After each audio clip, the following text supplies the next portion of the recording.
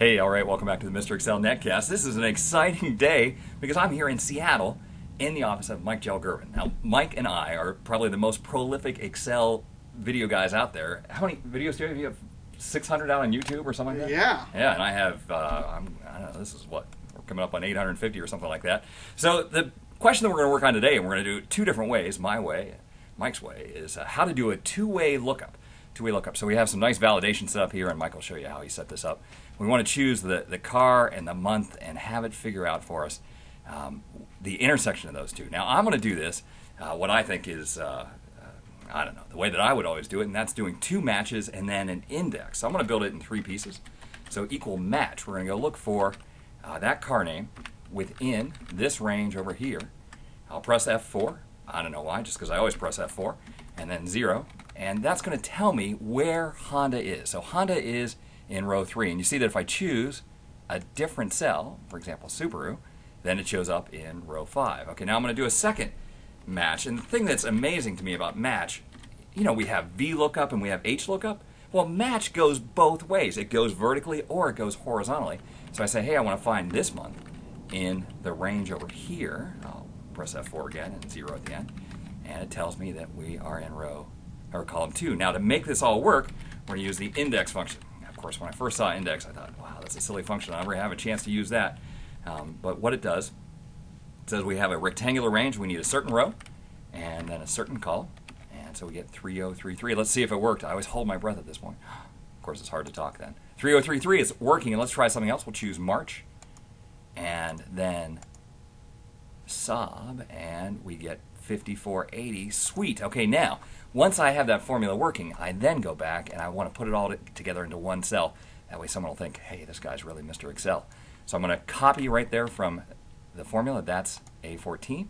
So here where I have A14, I'll now Control V to paste. Good, halfway there.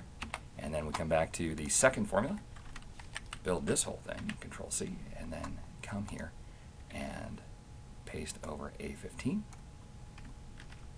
Good, now the formula is working. I'm going to copy the whole thing, Control C, and put it up here where Mike thought it should go, up in the yellow cell. And erase this evidence that I had to build it in three pieces. That way it's all impressive. And anyone who comes along will be like, wow, that's the most amazing formula I've ever seen. But I have a sneaking suspicion that Mike is going to show me up here. He's going to have an even cooler way to do it. So we'll turn this over to Mike. Thanks, uh, Mr. Excel. Uh, I don't think I'm going to show you up. I'm going to show you probably a more convoluted, difficult way, but it's pretty cool. So we'll uh, we'll check it out here. We're actually going to use names, the intersector operator, and the indirect function. Now uh, we have April and Chevy. I'd like to name this column January, this column February, and all of the corresponding rows, uh, the name and the row header. The quick way to do that is to use name from selection, create name from selection. I'm going to highlight this whole range, and I'm going to use the keyboard shortcut Control Shift F3. And it's asking, hey, I got the top row, which is right here, and I have the left column. Click OK. Now, I, I never believe that when I do that right off the bat, so I'm actually going to Control F3 to see if it got all the names. Sure enough, it does. In 2003, that's define names. Here it's name manager. All right, I'm going to close. Now, I'd like to add data validation here and here, and then we'll build our formula here based on those names and the indirect.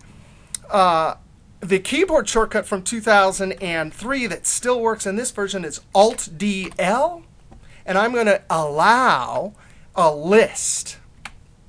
And the source for this one, this is the car, so I'm going to highlight this range here.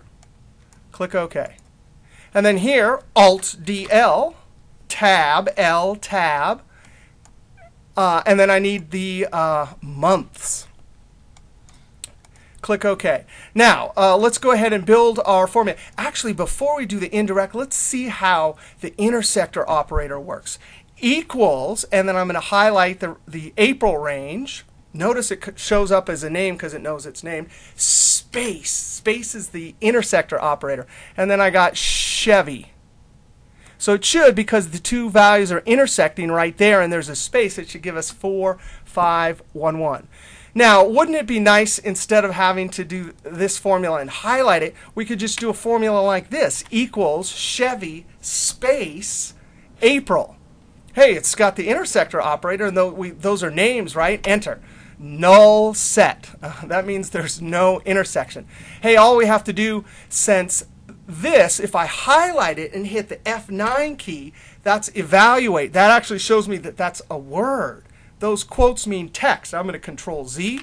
So what we need to do is use the indirect function. It converts text to a reference. So I'm going to type indirect.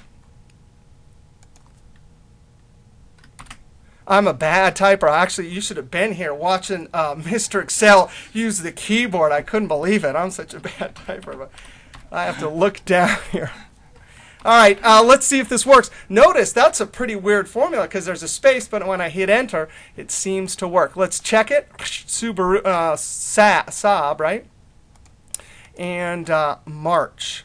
And sure enough, let's see, did it get it? Where's March? Where's March? Uh, there it is. It seemed to get it. Sweet. That's So uh, we'll see you uh, next uh, trick, and uh, Mr. Excel Excel's going to say uh, bye here also. Hey, all right. Well, hey, thanks for stopping by. We'll see you next time for another netcast from Mr. Excel.